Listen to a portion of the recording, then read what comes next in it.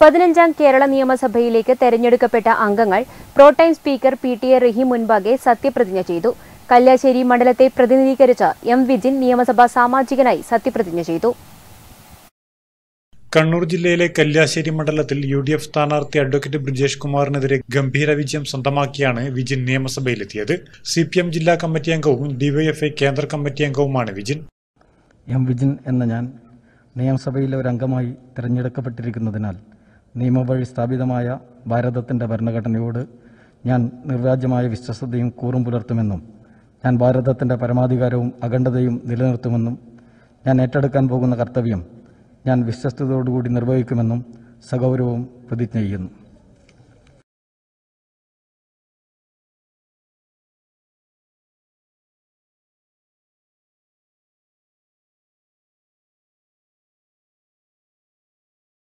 നൂറ്റി മുപ്പത്തിയാറ് M L എമാരാണ് തിങ്കളാഴ്ച pro tem speaker P T A റഹീമിന് മുന്നിൽ സത്യപ്രതിജ്ഞ ചെയ്തത്.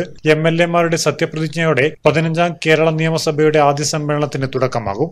News bureau Pilathara.